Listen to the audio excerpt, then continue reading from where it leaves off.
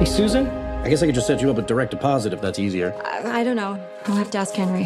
You have to ask your 11 year old? Did our financial statement come in the mail today? Yeah, I forgot to give it to you. I don't know how you do it all by yourself. Come on, I have Henry. Find me another male of the species who's more grown up than him. I'd like to. This story, it's about me, my brother, my mom, and the girl who lived next door. Henry and Peter, they're lucky to have you. And your father's lucky to have you too. Stepfather. Hey, Brian, welcome to What the Flick. Christy Alonso, Book of Henry, y'all. Okay, we're spoiling the shit out of this movie. So if you don't want to know what happens, stop now. Because there's no way to talk about why this movie is as fucked up as it is without telling you all the things. Yes. And even if we do tell you all the things, You'll still want to go see it. you, will want to see it more. Oh, yeah. Theoretically, um, It's a I- selling point. I don't even know how to explain it other than to say it is terribly awesome and awesomely terrible and very, very strange. It is as batshit crazy as, as you may have heard. I'm gonna try to describe the plot to you, and even that's gonna sound totally bizarre. Um, so Naomi Watts is a single mom. She has two little boys, one played by Jaeden Lieberher, who is brilliant. He is a genius beyond his years. He is languishing in this shitty public school that he goes to.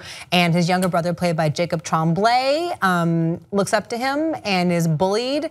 And next door to them is this beautiful, magical, and mysterious young woman who apparently is being abused by her awful stepfather, who also happens to be the police commissioner. So, as one would, um, the older brother comes up with a scheme for his mom to assassinate the police commissioner. And there's also a coma. There's a coma in this one too, Oh, isn't and there? to, to- to say it, at the least, there's a. coma. It's a coma. There's, it's coma week on What the Flick. So uh, take a look at this at this clip, and perhaps it will make sense.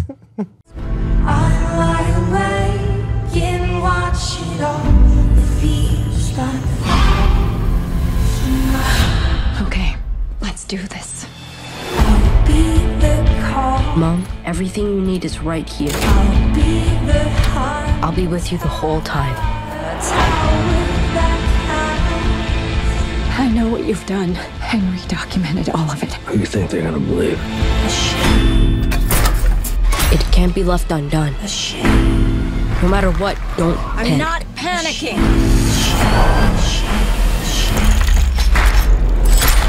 We have to make it better.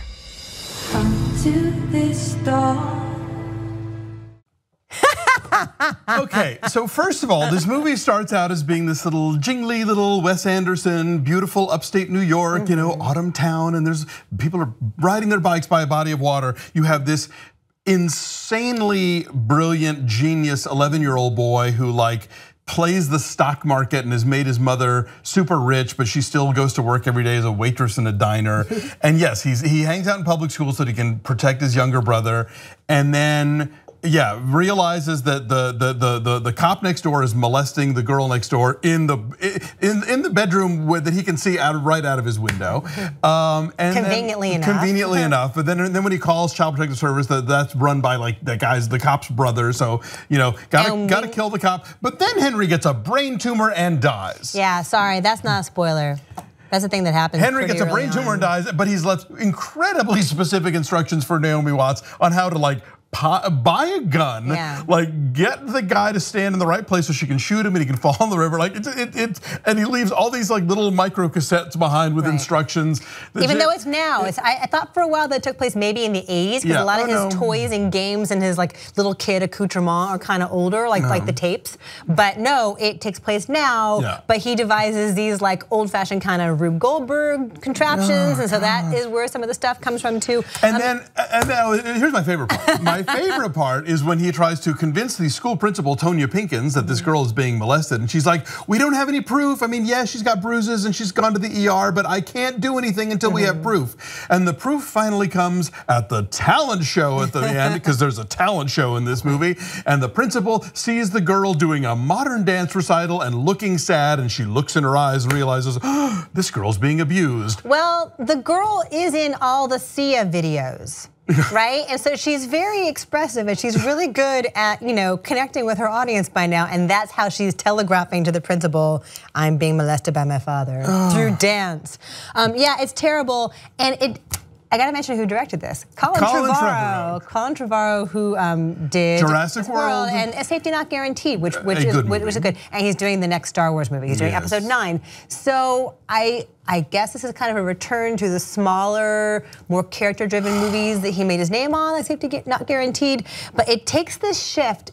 This massive turn, and I don't know that the movie knows that it's crazy, I- right? Because it plays no. it totally seriously, Yeah. and I almost wish that there was like a recognition of this is batshit and we're all in on it and let's go for this crazy ride together. But no, like they want us to accept that there is emotional poignancy in every crazy step that Naomi Watts' character takes. Yeah, yeah it, it is this weird notion of like how indies work, and in that it wants to be both like kind of a cutesy twee indie with Rube Goldberg devices and Autumn Leaves, and a like you know let's deal with how to, uh, how are we going to rescue the girl who's being abused next door, and yeah, it, it has no idea that it's trying to do the impossible basically, and for this thing to have worked.